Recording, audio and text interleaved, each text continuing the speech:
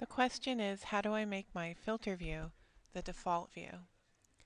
So in this spreadsheet, I have a number of filter views. This will filter by Team A, the people in Team B, and so on.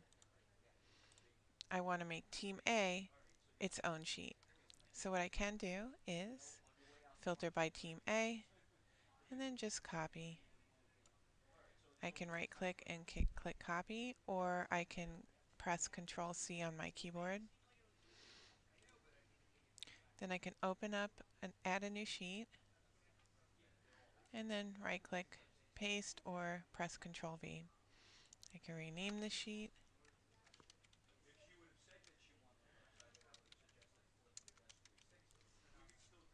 And then I'm done. To make sure that this is the first sheet, I can just drag it over. Okay, that's it.